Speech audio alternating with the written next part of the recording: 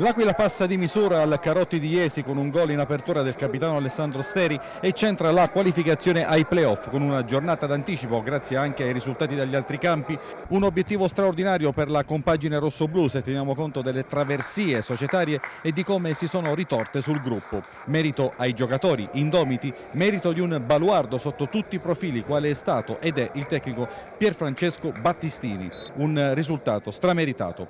L'Aquila si presenta all'appuntamento senza senza lo squalificato Caffiero e gli infortunati Marra e Ranelli, trio di difesa con Gagliardini, Esposito e Pupeschi, Boldrini a sostegno di Padovani e Ibe, nella Jesina finiscono in panchina Cameruccio e Carotti, Giovannini a sostegno della coppia Pierandrei Valdes. Inizia forte l'Aquila, pericolosa con due incursioni, la prima di Padovani, la seconda di Boucher, in entrambi i casi Ibe è in leggero ritardo. Le due azioni sono il preludio al gol del vantaggio rosso-blu, lo sigla il capitano Alessandro Steri che con un fendente appello d'erba batte Tavoni che forse coperto da alcuni compagni reagisce in ritardo. L'Aquila affonda a piacimento e al decimo Boldrini e Padovani costruiscono una pallagol colossale che Ibe sbaglia incredibilmente. Tavoni ringrazia e la Jesina si mette in partita e si rende pericolosa con tiri dalla distanza di un Magnanelli dal piede caldissimo. Poi è Valdes a provare al diciottesimo, blocca Farroni, ventunesimo tocca a Boucher che va al cross dalla destra, Ruci in corda però centralmente. L'Aquila mostra una certa superiorità sotto il profilo del gioco, del palleggio, ma a volte si perde negli ultimi 20 metri. La Jesina si affida a ripartenze e tiri dalla distanza. Magnanelli è sempre potente, ma è la mira a fare difetto al centrocampista dei Leoncelli. Nell'unico minuto di recupero però la Jesina ha il pallone giusto per il pareggio, ma il tocco con la punta di Calcina si stampa sul palo interno e torna tra le braccia di Farroni. Che spavento per l'Aquila. In avvio di ripresa c'è De Iulis al posto di Ibe, doppio cambio Leoncello, Cameruccio e Anconetani per Montori e Zannini ma è l'Aquila a farsi pericolosa nei primi sei minuti con due conclusioni di Boldrini sulla prima interviene Tavoni, sulla seconda la sfera si perde sopra la traversa. Sale la tensione in campo e la Jesina non ci sta. Ventunesimo sugli sviluppi di un corner Gremizzi viene murato davanti a Farroni sul ribaltamento di fronte, cross di Boltrini e doppio liscio di Calcina e De Iulis. Al ventiquattresimo Valdes di mera astuzia induce l'intervento falloso Ruci in area di rigore. Questo nell'interpretazione di Campagnolo di Bassano del Grappa. E lo stesso Valdes però a sciupare tutto con una conclusione centrale. Farroni non abbocca e neutralizza il calcio di rigore dell'attaccante. La gara si mantiene incerta, il solito Boldrini è sempre attivo e al 34esimo impegna severamente Tavoni.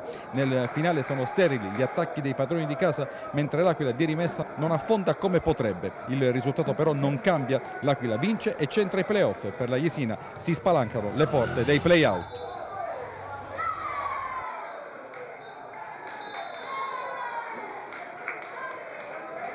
Era fondamentale provare a fare uno scatto, specie dopo la battuta arresto di domenica. Ovviamente sappiamo che incontrava una squadra che aveva bisogno di, di punti salvezza, che ha messo in campo il cuore, ha messo in campo l'anima. Siamo stati però accolti in un contesto molto leale, molto onesto, abbiamo fatto la nostra partita, è stata una partita a mio parere bella, anche emozionante. Mm, potevamo fare forse di più eh, per non arrivare al novantesimo in questa maniera. Loro hanno avuto due occasioni molto importanti, ma noi abbiamo avuto magari la possibilità di chiuderla diversamente. Ovviamente, come ho spiegato, la stanchezza si fa un po' sentire. Qual è il significato di questo traguardo? Prego. Dicevo ai ragazzi, non varrà niente, nel senso che tanto abbiamo una società che può, che può chiedere ripescaggio, che può fare altro, non abbiamo, abbiamo pochi accoliti che ci seguono e ci tifano, eh, però per noi ha un significato enorme perché noi abbiamo mostrato una resilienza che non è comune nel mondo del calcio a questi livelli. Quindi a mio parere alla fine della stagione questo, aver raggiunto questo traguardo ci arricchisce, ci arricchisce come, come, giocatori loro.